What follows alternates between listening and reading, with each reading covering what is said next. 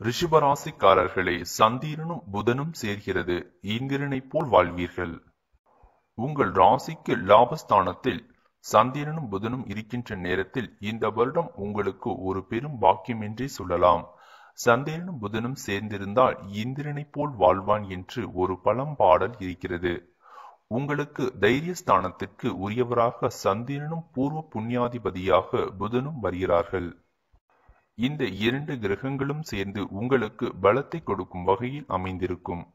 குறிப்பாக மூளை பலத்தை கொண்டு புத்திசாலித்தனமாக செயல்பட்டு வெற்றி பெறுவீர்கள்.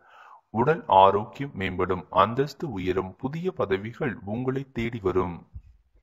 இந்த வருடம் தொடக்கம் முதல் மூன்று பத்து இரண்டாயிரத்தி பதினெட்டு வரை குரு பகவான் ஆறாம் வீட்டில் மறைந்திருப்பதால் பண பற்றாக்குறை எப்போதும் இருக்கும். அதற்கேற்ப பணமும் வந்து கொண்டே இருக்கும். செலவுகள் செய்யும் போது கொஞ்சம் சிக்கனமாக செய்வது நல்லதாகும். நான்கு பத்து இரண்டாயிரத்தி பதினெட்டு முதல் வருடம் முடியும் வரை குரு பகவான் ஏழாம் வீட்டில் அமர்ந்து உங்கள் ராசியை பார்ப்பதால் போட்டி போராமைகள் நீங்கும். தடைப்பட்ட திருமணம் கூடி வரும். கணவன் மனைவிக்கிடையில் அந்யோன்யம் அதிகரிக்கும். வாழ்க்கை துணையின் ஆரோக்கியம் சீராகும். சிலருக்கு குழந்தை பாக்கியம் கிடைக்கும். அடுத்தடுத்த சுப நிகழ்ச்சிகளால் வீடு களைகட்டும் வராது என்று நினைத்த பணம் கைக்கு வந்து சேரும். வாங்கி கடனை தந்து முடிப்பீர்கள்.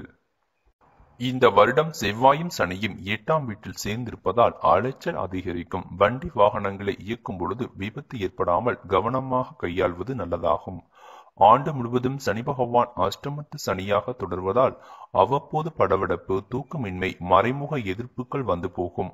உடல் ஆரோக்கியம் பாதிக்கப்படக்கூடும் என்பதால் அதிக கவனம் தேவை.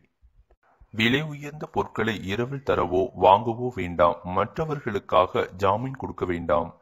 கணவன் மனைவிக்கிடையில் விட்டு கொடுத்து செல்வது நல்லதாகும். வழக்கில் தீர்ப்பு தள்ளி போகும். நீங்கள் நம்பியவர்களை உங்களை ஏமாற்றக்கூடும் என்பதால் அதிக கவனம் தேவை. சொத்து வாங்கும்போது தாய் பத்திரத்தை சரிபார்த்து வாங்கவும்.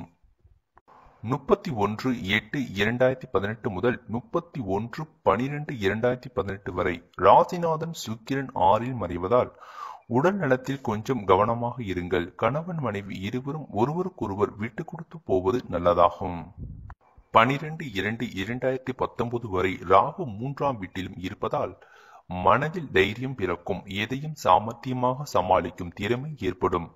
ஆன்மீக ஈடுபாடு அதிகரிக்கும். ராகுவை போல் கொடுப்பார் இல்லை. அப்படிப்பட்ட ராகு உங்களுக்கு எடுத்த காரியங்களில் எல்லாம் துணிச்சலாக செய்து முடித்து வெற்றியை தேடித் தருவார்.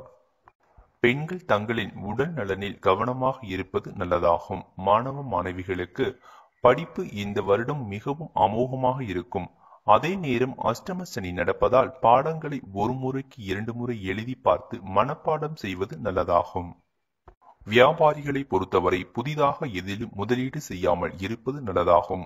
கூட்டுத் தொழிலில் நிச்சயமாக நீங்கள் செய்யக்கூடாது. பங்குதாரர்களால் உங்களுக்கு பிரச்சனைகள் வர வாய்ப்பிருக்கிறது. அப்படியே முதலீடு செய்வதாக இருந்தாலும் அக்டோபருக்கு பிறகு அதாவது குரு பகவான் உங்கள் ராசிக்கு ஏழாம் வீட்டுக்கு வரும்போது முதலீடு செய்வது நல்லதாகும்.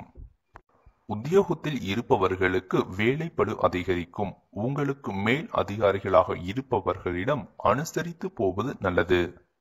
சக ஊழியர்களிடம் பழகும் பொழுது மிகவும் கவனமாக இருங்கள். எவ்வளவோ வேலை பார்த்தும் நமக்கு உரிய அங்கீகாரம் கிடைக்கவில்லையே என்ற ஆதங்கம் இருக்கும். அக்டோபர் மாதத்திற்கு பிறகு இந்த நிலை முற்றிலும் மாறும். கலைஞர்களை பொறுத்தவரை டிசம்பர் மாதம் வரை பெரிய வாய்ப்புகள் எதுவும் இருக்காது.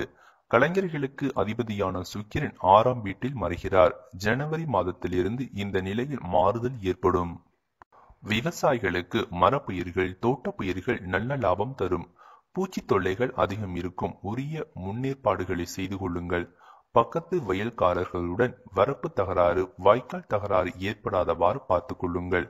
அப்படியே ஏற்பட்டாலும் பேசி தீர்த்து கொள்ளுங்கள்.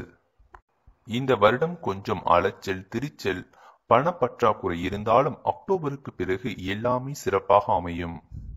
நீங்கள் செய்ய வேண்டிய பரிகாரம் தஞ்சை மாவட்டம் மணலூரில் அருள்பளிக்கும் அருள்மிகு மாரியம்மனை ஏதேனும் ஒரு வெள்ளிக்கிழமையில் சென்று நெய் தீபம் ஏற்றி வழிபட்டு வாருங்கள். நன்மைகள் பெருகும் உங்கள் வாழ்வில்.